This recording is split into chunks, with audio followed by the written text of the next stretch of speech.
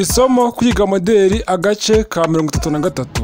Ubu rero tugiye gukora ino pantaro yacu uyu mufuka uri kureba hano. Reba uno mufuka hari ukuntu rero imyenda nk'ingi y'amakoboyi akenshi uba usanga nk'umufuka w'imbere ushobora gusaza. Reba nka gutya umufuka umeze waracikaguritse nk'imbere eh, noneho ugasanga ahandi hantu hose ipantaro iracyari nzima. Ariko wenda wowe nk'umutayeri bakuzaniye nk'ikirakati nkusorera ino pantaro hano na hano hafite ikibazo. Ugasanga nk'uyu mufuka uravuze ngo ntibyakunda ngo ntibyashoboka. Rero ubu ngubu tugiye gukora uno mufuka. Neza ugire ngo ni bwo ino pantaro igisohoka ugire ngo kugeza tunayikoraho rero kurikira neza akantu ku kandi mbere na mbere fata urwembe.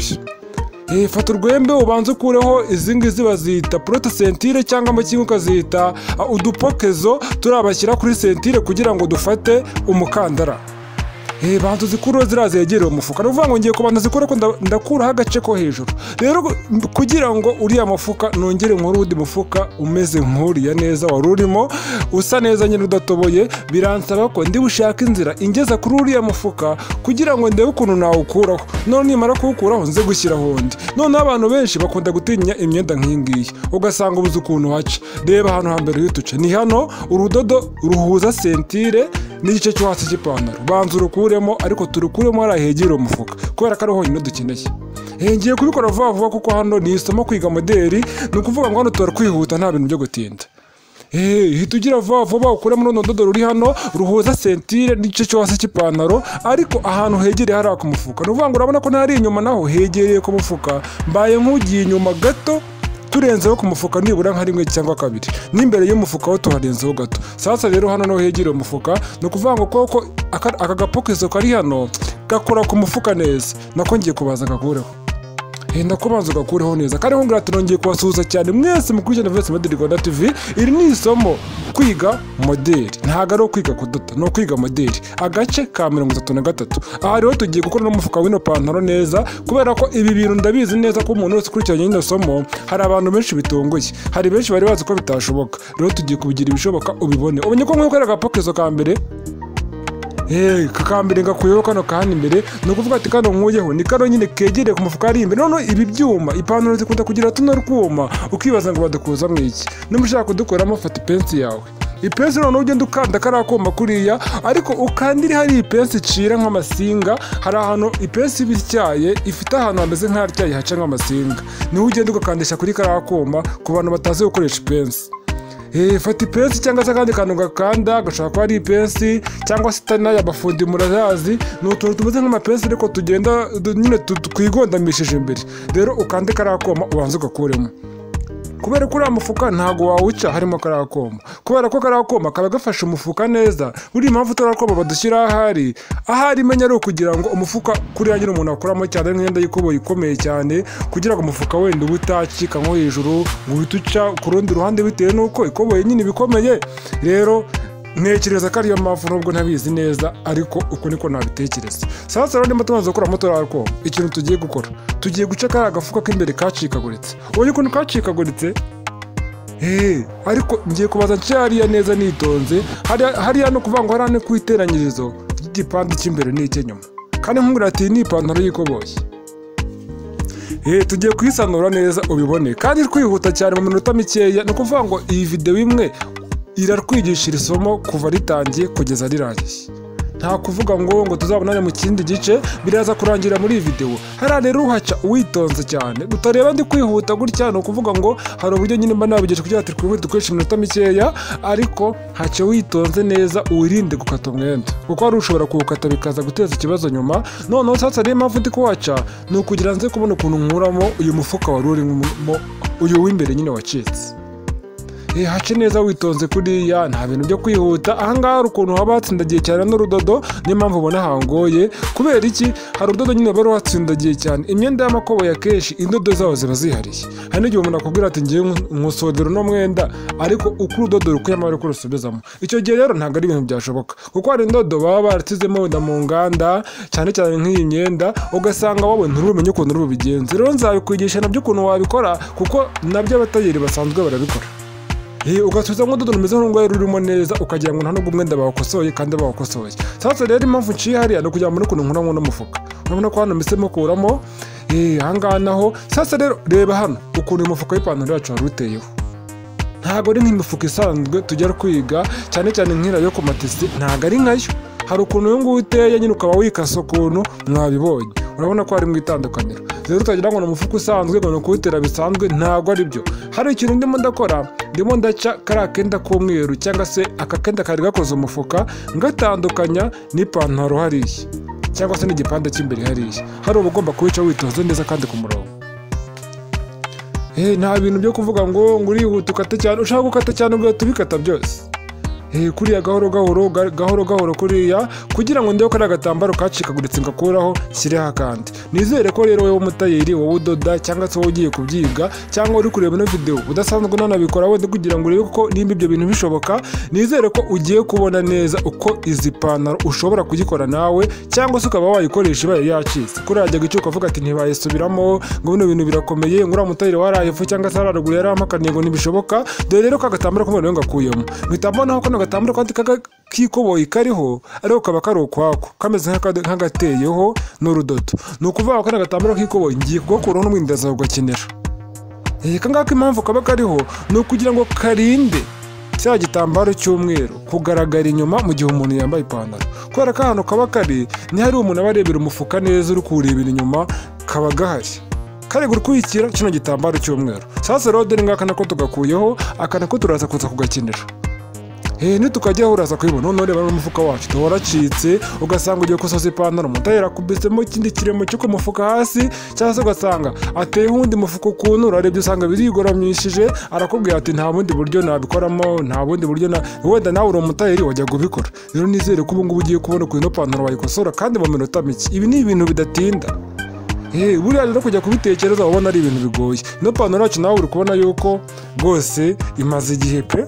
Imaze igihe njye narebye wa mwenda ufite ikibazo ngira ngo tugikosore. Sinitaye kureba ngo ngo ngo ndafata ipantaro nshyashya urabona ko mfashe ipantaro n'ubundi isanzwe yambarwa. Ariko yacitse iriya mifuka. Ngiye kukwereka reba n'uyu nguyu nawe waracitse hejuru ariko ntabwo wacitse nk'uriya duciye mbanje uriya duciye kuko n'uwucitse cyane nk'uno ukuntu tugiye kuhindura sasa rero ngiye kureba n'umufuka wacu ufite kangahe ubundi zino pantaro bazikora baraza umufuka ufite kangahe urabona ko ni nk'umunani. Ariko hari ukuntu rero amapantaro y'amakoboyi aba afite udufuka, tugufiya. Reba aha ngaha mu butambike urabona ko ari gatandatu n'igice. Gatandatu n'igice cyangwa se karindwi. Urabanza ugapima kugira umenye ingano y'umufuka nawe uri bwongere ugasubizamo. Ni ukuvuga ngo njye noneho sasa rero umufuka ngiye kuwongeraho gato mu burebure. Hari ukuntu amapantaro ukora mu mufuka bitewe n'uko wenda umukiriya wenda wasanga ariko yabisabye. Ariko nta birenze n'ubundi ushaka wamuberekera kuriya gusa urabona nimba ari karindwi ngewe nshobora kugira karindwi n'igice. Hariya nimba ari umunani cyangwa icyenda gishobora kugira wenda nk'icumi cyangwa cumi na rimwe. Kuko ibisanzwe tuzi ko imifuka yo ku mapantaro ya kigabo ikunda kuba ifite uburebure nk'ubwa cumi na rimwe ubutambike cumi na kane.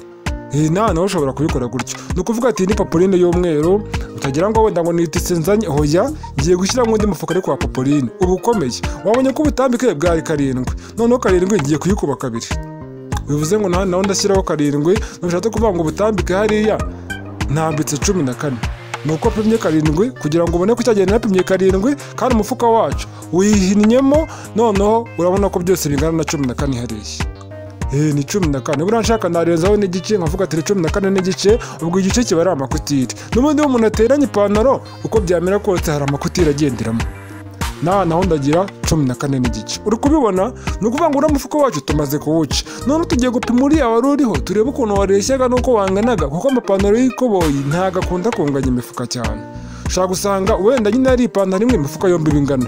Ariko hari ukuvuga ngo wowe ufite ipantaro nanjye ndayifite ariko imifuka yacu ntingana. Ariko ikunda kuba mugufiya ugasanga umuntu asizemo nk'ikintu ngo ntikigiyemo neza ngo ndashaka umufuka- ngo ariko uwugire muremure. Niyo mpamvu rero ngewe nongereyeho ku bipimo wenda umukiriya niko yabinsabye ariko n'ubundi ntibyakubuza kuwusanura nta kintu bigiye kukujijishaho kuko ni imibare. Wowe ushaka na yo wayigabanya ushaka wayongera biterwa n'uko ubishaka Eh, sasa rero hano tugiye ku cyo bita uburebure. Kari twabonye ko bwari ari icyenda urabona ko nongeyeho rimwe n'igice ryose ni ukuvuga ngo ndeba nari kugira icyenda n'igice wenda nakutiriye igice.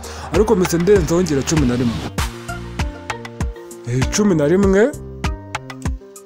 Rero ni ukuvuga ngo hano ino papuline yacu tugiye kuyikata nyine kuri bya bipimo nitumara kuyikata niyo turi bukoreshe ku mufuka. Ni ukuvuga ngo rero umufuka wacu ni ukuvuga ngo ni popoline ikatiye rimwe ibyo bintu musanzwe mubizi no ku myenda ya kigabo niko tujya tubikora tugakatira umufuka rimwe tukaza kuza kuwuterera rimwe. Nibyo natwe tugiye gukora. Dore uraba wihinnye kuriya. Ni kuri uraba wihinnye. Ni ukuvuga ngo tuwukatira rimwe narwo. Noneho sasa rero tugiye kuba dukorera moderi yawo nitumara kuyikora tuze kuza kuwuteraho n'ubundi wuzura umeze kuriya. Urabona ko ibipimo byose ni byo Eh, nta kibazo cy'ipimo hano kirimo. Ipantaro yacu ko tukongera tuyigarure hano twayiciye wabibonye sasa rero ngiye kubanza ni ukuvuga kano gatambaro kaza kujyaho kuriya. Ntabwo ngiye kukabanza. Ni ukugira gusa ngo mbikwereke. None umufuka wacu urabona ko tugiye kuwukora ukongera ugasubirana ubushyashya bwawo nizere ko wowe umutayeri uri kureba ino videwo utazongera kunanirwa gukosora ipantaro umufuka gutya kuko bikunda kunanira abatari reba hariya ndabanza mfate igitambaro cy'umufuka nyirambikeho hariya kuriya uri kubibona? Reba igitambaro cyacu reba ipantaro yacu nyirambitse hariya ku gice cy'umufuka noneho ndambitseho popoline hariya hejuru y'umufuka kuriya uri kubibona? Noneho ngiye guhita ko mbihindura kuriya ndeba ipantaro igice cy'ipantaro hejuru. Noneho birambitseho kuriya ni ukuvuga ati hariya ku mufuka higondetse ni nk'aho tutahamenyereye cyane. Kubera ko imyenda twajyaga tudoda y'abagabo hariya ntabwo waba hikase kuriya ahubwo haruguru umufuka nyine tuba twatambitse ngo rimwe n'igice tukabaruka ku gatandatu tukamanura umurongo umeze nk'uberamye ariko hano ku makoboyi yo ntabwo ariko biba bimeze. Ni ukuvuga ngo ngiye kubanza mbitengeho haya mbere na mbere kuriya ariko popoline yacu kuriya iratambitse ni ukuvuga ngo itambitse ijya ku mashini imbere ni ukuvuga ngo uburebure bwayo ugomba kujya ko bwagiye ku burebure ubutambike bwagiye ku butambike. Noneho mfate nk'agakaramu njye n'icisheho hariya. Ko ni umweru? Ndi kubona ingwa itari bugaragare. Niyo mpamvu nkoresha agakaramu ariko ujya wirinda gukoresha ikaramu ku hantu byagaragara kuko impamvu hano mbikoze ni ukugira ngo mbone ukuntu ncisha ngo gusa. Noneho mpite ko mfatisha ya koboyi yacu na ya popoline nshishemo akadodo hariya ku ruhande. Ariko niri ntabwo nkubwiye ngo ucishe. Hariya neza neza hasa n'ahigonze ari nk'umuvuto. Hoya cisha gusa aho ubonye hariya ku ruhande inyuma ya kariya kantu kameze nk'umuvuto ko ku ikoboyi kariho hariya. Cyangwa nimba utari no kubibona nushaka ucisha hariya nta kibazo ariko icya mbere ni uko ucisha ahagana hariya. Kandi ukabanza kumenya ko umufuka wacu wigonze neza nk'uko n'ubundi wari wigonze. Kuriya nyine urabona ko urihese nk'uko wari wihese ugomba kubanza ukabitinga neza ntabyo kugenda ngo uhite ucishamo urudodo hari ukuntu wabikora wihuta gutyo ukaza gukora umufuka wihese cyane ukawuhengamisha nk'uko utari uri warangiza ugahita ukata kuriya urabona ko tubikase. Noneho ngiye guhita mbihindura kuriya. Nimara kubihindura urudodo rwacu kubanza dutunganye neza dushyire ku murongo. None nimara kubihindura kuriya biberamishe kuriya papuro nyisubize munsi. Niyongeza nshishe ko utudodo kuba turi hano inyuma. Twari tubiri. Akambere gaca ku ruhande neza hariya aka kabiri gaca munsi yako. Sasa rero za ndodo nanjye hano ngiye kuzisubizamo. Nakubwiye ngo akambere karacara ku ruhande neza hariya. Hariya. Gahoro gahoro witonze noneho rero ni ukuvuga ngo nijya kurangiza ino videwo ndakubwira ikintu nzajya ukoresha cyangwa tuzabikora nyuma mwereke ukuntu ushobora gukora nk'udodo mu ikoboyi rwa rudodo ukuyemo rumeze kwa kundi ukongera ukarusubizamo kandi bitanagombere kujya kurugura ngo ushake udodo rubyimbye kuriya akenshi ziriya ndodo aba ari izo mu nganda cyangwa se ari nk'abantu wenda wenda nk'inganda ziba zikora imyenda imeze gutya zikoresha ziriya ndodo rero ugasanga abatayeri basanzwe izi ndodo ntabwo tuzikoresha. Ugasanga ubwiye umuntu ati njye ninkosora uko ubona hano dodo ntabwo ari uko rugaruka rumeze. Urabona ko nakishemo akadodo ka kabiri kuriya kuriya niko byari bimeze. Yeee nzababwira ukuntu twabigenza kuko na byo ni ibintu byoroshye ariko hano nkoresha urudodo rusanzwe nta kibazo kugira ngo twige gusa ukuntu bahindura umufuka. Ibyo na byo tuzabyiga ukwabyo. Urabona ko umufuka wacu hariya tumaze kuwutera hariya birarangiye igisigaye rero. Urabona gutya umufuka wacu umeze? Ngiye gutera kano kakoboyi twakuyeho kuri runo ruhande rundi rusigaye. Reba ipantaro yacu kuri imeze nituyigonda kuriya biraba bimeze kuriya umufuka uraza kuzura umeze kuriya. Noneho reba kariya gatambaro k'ikoboyi impamvu baba bagasizeho. Ni ukugira ngo gahishe hano h'umweru hagaragara. Noneho hano h'umweru nanjye ngiye kubanza ngatereho kuriya. Kari ugomba gatera nk'uko kari kariho. Ni ukuvuga ngo ziriya nguni zose zigororotse zirajya ku mpande hari ahasa n'ahihese. Nimagera ndakubwira ko azimagera ahangaha ni ku nguni ku ruhande. Haragororotse hagomba kujya n'ubundi ku ruhande. Sasa rero ahangaha ngeze. Ariho ha hano. Urabona ko ho hari ihese. Hari ahihese rero ni ho hajya hasi kuriya cyangwa se hajya nyine haganamo imbere mu mufuka. Hariya ku mpande ni ku mpande. Ririya nguni yo ku ruhande mbanje ubonye ko yari igororotse n'iyindi yo hejuru iragororotse. Nawe niko ugomba kubikora. Ntabwo ufata hariya hihese ngo abe ushyira hejuru ntabwo byakunda. Cyane cyane ko biba binagaragara ugiye kubikora nabi n'ubundi byagaragara. Ntabwo byakunda. Iyi paporine umumaro nako aka kantu k'umufuka nsizeho hano umumaro wako. Ni ukugira ngo iyi paporine yacu mu gihe umufuka wuzuye itazagaragara inyuma ku bwiza urabibonye? Igisigaye rero ngiye gufunga hasi. Hasi kugira amafunge ndabaza amafunge mayindurije kuriya. None ntabwo mafunze nk'uko ipantaro iri bwuzure umufuka ufunze. Hoya mbaje kuhafunga hahindurije. Uraje urabibona neza nimarangeze reba hariya. Ni ukuvuga ngo ndabireshyeshya kuriya ku buryo bungana nindangiza miteko ncishamo akadodo kagenda kuriya kuriya kuriya kuriya nikajya hari agasina kazamukaho gato wenda kagarukire hariya. Se buriya biriya ni byo ra? Ibi ni byo dusanga dukora ku mapantaro bisanzwe. Reka ze mbaze mbikore turebe niba ibyo cyangwa atari byo. Reka buriya amavuga ati tuba turebe kuko ni byo tugiye gukora ari byo wabonye hariya dore ko agatambaro kacikoboye kari hariya wabibonye gutya ndawuhese ariko n'ubundi agatambaro kacikoboye kagaragara ko kari hano inyuma. Nawe niko ugomba kubikora. Nta byo kuvuga ngo ugiye kuwuheta kuriya agatambaro kikoboye kagende nk'imbere hoya kagaragara inyuma hari amandi wenda hari amandi gufata munsi nyine ariko kagaragara. Sasa urudodo rwacu ruragenda kuriya rugera inyuma rwihete kuriya. Turebe ko bivamo. Ariko ntaragera kure reba hano ku mufuka wacu ukuntu hameze. Ariko urabona ko bigarukira hariya mu nguni neza. Bishatse kuvuga ngo ngiye kongera dukuremo shyiremo urundi dugarukize hariya mu nguni neza. Urabonye ko bidashoboka? Biriya nari nkoze ni byo dusanga dukora ku matisi akenshi. Ku myenda ya kigabo ku mifuka hariya ku matise usanga turuzamura hejuru gato. Ariko na byo basigaye babihindura ubu ngubu na byo tuzabyiga ibindi bishyashya basigaye bakora ari byo by'ibingibi turi gukora hano. Nta birenze dore n'ibintu. Kadukate noneho hariya wenda tugabanya ziriya kutireho gato nta birenze none niturangiza tujye twabona guhindura umufuka wacu sasa rero. Ni ukuvuga ati gutyo ubundi niko uri bwuze kuzura umeze. Maze mpite ko mfunga hano hasi. Urabibonye? Nkubwira ngo ni Voice Media Rwanda TV kura subscribe kandi iri somo ryacu baryita isomo kwiga modeli ntabwo ari ukwiga kudoda ni ukwiga modeli kwiga modeli bigira ibice. Ntabwo bigira ibintu by'amasizoni oya. Ibyo by'amasizoni rya somo rirerire tujya twiga ugasanga ngo sizoni ya runaka ngo sizoni wenda ya cumi na gatandatu ni ho tugezeho ngo episode ya mbere. Aho ho ni agace buri gace karatangira kakanarangira neza. Nimba tugeze kuri kano gace reba n'urwa mbere kose twagiye tubanza kuko turahari. Ni ukuvuga ngo rero hano hariya nimba mparangije ikintu ngiye gukora ngiye noneho ngiye guhuza hano ku mpande. Hano baze mpine kuriya mpahuze. Wakwibaza ngo ndagendera kuki kubera iki menye ko ndi buhurize hariya? Nabyo ndaje mbikwereke. Ugomba kwibuka neza ko hano hari akuma twakuyemo. Kariya kuma ntigasubiramo kereka iyo ufite imashini igashyiramo wowe urakora ibyawe bya kuma ntubyiteho ureba utu twuma utu ngutu wowe urareba hariya naho hari hatoboye twari turi. Haba higaragaza ko haba hatoboye. Hari ukuntu haba hatoboye hakigaragaza. Ngewe ikintu ngiye gukora ngiye kuringaniza umufuka wacu neza nimara kuwuringaniza mbirambikaho kuri bingana n'ahandi hatoboye neza uhita uhagerekeranya nk'uko hatoboye. Ntuwasumbanye kuko iyo wasumbanyije iyo uyirangije nyuma ntabwo bikunda ipantaro.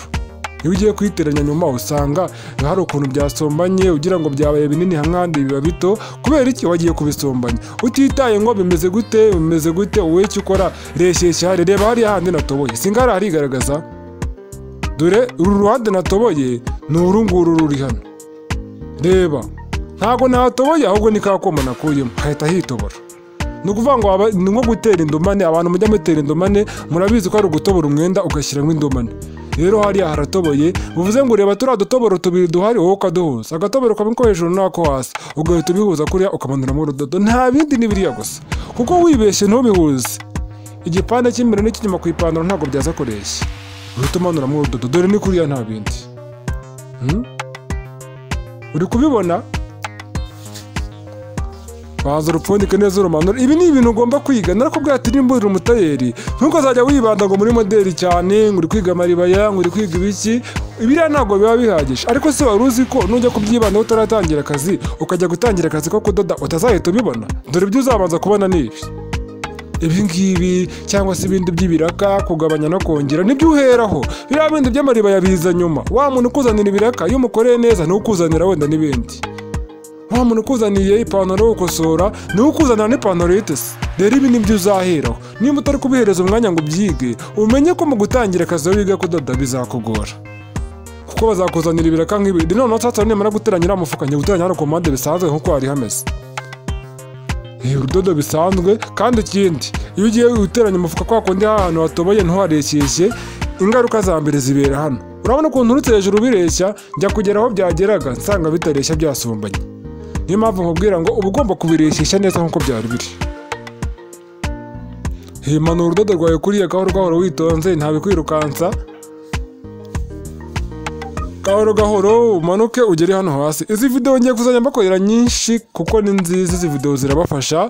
Eh utu ni utuntu ugenda ukenera kandi byihuse cyane. Kuko uko byamera kose wowe mutayeri umva niyo wavuga ngo njye sinyanywa imyenda ya kigabo. Ntiyabura kuza umukiriya ukuzaniye imyenda ya kigabo bitewe. Ni ukuvuga ngo rero hari ahantu ni ukuvuga ngo hari ahantu hari kutire yo gusirifira. Iyo ufite imashini isirifira hafi ujya gusirifira. Nibyo ngira ngo hano mbereke ko ngiye imashini nyifite hafi hano kansirifire mbereke biba bimeze gute. Uyifite hafi wasirifira utayifite ikomereze nta kibazo.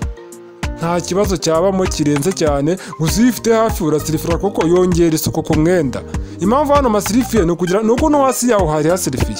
Rero gusirifira akenshi uba usanga ari kwibanda ku ndodo z'imikara n'umweru eh, si ngombwa kuvuga ngo ngo ibara ngo risa n'ipantaro si ngombwa akenshi aba ari imikara n'imyeru bikunda gukora. Hariya ndasirifiye ni ukuvuga ngo rero ikintu kindi ngiye gukora. Urabona kano kadodo kari kari hano inyuma ku ipantaro ako nigeze gukuramo nagakuyemo ariko ntiwakabonye. Dore hano ngiye kukakwereka. Hano hari akadodo kari inyuma kamanutsemo hariya nako ngiye kukamanuramo ngiye gupima se kari kari kuri kangahe. Pimya ko ku rundi ruhande kugira ngo umenye imibare ngiye kukamanuraho. Mbonye ko ari nk'umunani n'igice hariya ndayipimye ni ukuvuga ngo ari akadodo nako ugiye ugashyiramo mu ikoboyi kaba karimo ntabwo wagakuramo ngo ubure kongera ugasubizamo. Kandi kongera ubwiza wenda ari dizayini ariko ntabwo ari dizayini gusa buriya hari abari ibanga wowe mutayeri udapfa kumenya buriya biriya byose ni ibintu ipantaro gucika cyangwa se nk'imifuka na turiya tuntu tw'urwuma tuba turiho. Uzitegereze neza urebe ahantu tuba turi. Ni ahantu hashobora gucika. Mu gihe runaka. Rero baratuhashyira wenda. Njye niko mbitekereza ntabwo nigeze mvugana nabo ngo bambwire impamvu badushyiraho ibyo ni byo ntekereza. Rero niyo mpamvu ubona turiya twuma tuba turiho. Tatari urudodo narwo ngiye kurusubizamo nku- nk'uko rwari rurimo. Henda umanure ndogeze hasi kandi ibanga rya mbere nakubwira niba ushaka gushyiramo urudodo rubyinnye nk'uko urwari rurimo rwawe rumeze gerageza ushyiremo rumwe aho rwari ruri neza wongere ugerekeho urundi hejuru. Rugaragara nk'urubyimbye rukagaragara cyane. Cyangwa se nzakugisha n'ubundi buryo wakoresha. Ubwo ni uburyo bumbagukiye mbese kuba nkubwira kano kanya? He ku muntu uvuga ngo akudodo rwawe rurimo ngo ntibisa hari n'abakoresha indodo ebyiri icyarimwe na byo nzabibigisha. Mbibereke. Urabona ko hariya rero birarangiye. Umufuka wacu reka ni nkaho urangiye. Gusa urabona hasigaye iki? Ngiye kongera nsubizeho sentire nk'uko yayiriho icyiza cy'amapantaro nk'anga y'amakoboyi akenshi nyine uba usanga sentire ziteye mu buryo bworoshye. Bworoshye cyane. Iyi porote sentire cyangwa se kano kantu gafata sentire ngiye kubazanya rero nk'uko n'ubundi kari kariho. Kandi abantu bavuga ngo ngo imashini yanjye ngo ntikora amakoboyi ngo iyi mashini ngo ni imashini zisanzwe ngo amakoboyi ngo ujya kureba za mashini ngo nini ngo byawe ngo bavuga ngo byayo mashini binini ngo by'umweru da niko mubivuga none se urabona ndi gukoresha hano iyihe mashini? Eka niyo mpamvu njye nshishamo nkoresha imashini zisanzwe. Kugira ngo nawe utazagira ubwoba uvuga ngo wakoresheje ngo imashini yindi. Ngo rezo bita ngo jackie ngo wiki murabizi namwe amazina aba ni amazina y'imashini. Yewe muzarebe ziriya mashini z'umweru ziba zanditseho amazina ubwo harimo iryo zina hari n'ayandi mazina menshi ntabwo ari iryo gusa. Mu gihe izi ngizi hari izitwa ngo singeri ngo brada ngo izi ngo ayandi mazina ni menshi ni menshi. Ariko icy'ingenzi wereye ibyo turi kudoda kandi imashini yose wakoresha nawe wabikora. Cyakora hari igihe imashini yawe wenda iturira ibintu biremereye birumvikana. Ariko nibura gerageza byange ariko wabikoze. Urudodo rero ngiye ukurusubizamo n'ubundi nk'uko rwari rurimo. Nta bindi birenze ntabwo ari nk'ipantaro isanzwe ya kigabo. Ngo ubanza ngo gutera uruhande rumwe ukaza guhindurira ku rundi ugashyira n'akadodo ko kwihishamo hari akadodo kaba gahishe hoya hano ni urudodo rumwe rufata imbere n'inyuma icyarimwe. Wowe urutera ureba ku bwiza hariya kuriya sasa rero iyo utakoze ipantaro yawe neza ngo uyihuze neza urarushyiramo uradodo ugasanga ntabwo ibipande biri kureshya. Ugasanga igitambaro wenda cyo ku ipantaro hasi cyabaye kinini. Sentire ibaye ntoya kandi ahantu byapfiriye ni hahandi wajya uhuza ibitambaro. Nk'uko bitari biri rero bikanga kuvamo. Urabona ko hano bivuyemo neza. Hasigaye iki? Izi porote sentire ngiye kuzishyiraho neza. Porote sentire cyangwa udupokezo? Eh ngo ni udupokezo niko barakwita abatayeri. Akenshi bavuga porote sentire hano imbere rero ni ukuvuga ngo ngiye kubaza ndambure neza hano hari akadodo karimo. Ahantu rero haba hagoranye nk'ukuntu eh, ku bantu b'abatayeri bamwe na bamwe harabagora. Ni ukuvuga ngo irindi banga hano nshaka kugira ngo nkugire nimba ugiye gushyiramo kano kadodo gafata porote sentire uyikoresha ipasi usubiza imbere n'inyuma. Koresha regaraje kubera ko ipasi hari ukuntu iterura wasunika ujyana inyuma n'imbere urushinge rugahita rucikamo. Koresha regaraje regaraje ni ka koma kandi gasubiza imbere n'inyuma kari hariya ku ruhande uzamura bikajya inyuma wamanura bikajya imbere cyangwa se bitewe n'ubwoko bw'imashini wazamura bikajya imbere wamanura bikajya inyuma. Rero niyo mpamvu nkubwira ati koresha irare bayita regaraje bariyo ukoresha abatayeri bayita regaraje nyungurisha amazina y'abatayeri. Hanyuma dushyireho kuri ubundi twari tumeze. Rero hano abatayeri benshi bakoresha ipasi. Wakoresha rehasa redi pasi ni kariya koma k'inyuma bazamura ipasi bayizamura bayimanura. Ukumva urushyiga ngo rucitsemo ngo njye imashini yajya ngo ntikore amakoboyi nanjye hano nkoresheje ipasi rwacikamo. Duciyemo se. Oya ntabwo nakangiza imashini ubwo icyo gihe nyine birumvikana nabanyishe nafata umwanya kujya kuyikora videwo yacu ikaba irapfuye ariko ukoresha regaraje urabona ko bihise biba rwose. Niyo mpamvu nanjye nkubwira ati nkoresheje ipasi rwacikamo pe sinirirwe nkubeshye reka na ziriya mashini zindi mpamvu ngo ziraremereye na zo ntabwo bakoresha ipasi mu buryo gutyo bwihuse ku makoboyi gutya? Ni ukuvuga ngo wenda bifite ahandi hantu bakora nk'izo regaraje ziba ziriho ipasi rero uyikoresha ahantu ubona ko ari ngombwa nyine hatari bwangiza urushinge. Ariko ahantu nk'ahangaha haremereye regaraje ahangaha haba haremereye cyane ku buryo wareba byonyine ugahita ugira ubwoba. Kandi ugende neza gahoro gahoro witonze urabona ko ipantaro yacu dore irarangiye. Si irangiye umufuka wacu ntugiyemo si nguyu kaze nkwereke dore ngibi hano birarangiye gusa urabona hari icyo gisigaye. Mu munota umwe usigaye banza urebe reba ipantaro yacu irarangiye neza. Nta kibazo na kimwe kirimo. Ni ukuvuga ngo ibintu byose hano twabikoze. Umufuka wacu si nguyu. Ugiyemo ari mushyashya. Ikindi kibazo cyose wabonamo wenda cishaho n'agapasi wenda nimba kari hafi ibindi byo byarangiye. Ni veresi medi rwanda tv ndabakunda cyane. Nizere ko iri somo nkwigishije urimenye neza kandi ikindi umenye neza ko wakoze sabusikaribe dore umufuka dukuyeho dore uwo dusizeho. Udukudo wari ushaje rwose wari ushaje cyane dusize agafuka gashyashya wakoze cyane kunkurikirana umenye neza ko wakoze sabusikaribe bayi bayi ndabakunda cyane mwese kandi ibyiza biracyaza. Tuzabonane mu yindi episode cyangwa mu kopu tuguhaye ikaze kuri Voice Media Rwanda TV dukora ibintu byinshi byiza kandi bitandukanye. Turasifira baby rock amariba ya modeli zose kandi zigezweho. Si byo gusa n'amakanzu turakora n'imyenda y'abagabo n'imyenda y'ubudodo kandi ikindi tunigisha online modeli zose. Wamubwira ati ngwino hano kuri Voice Media Rwanda TV ukore subscribe ubone na byinshi byiza kandi bigezweho. Turabakunda cyane.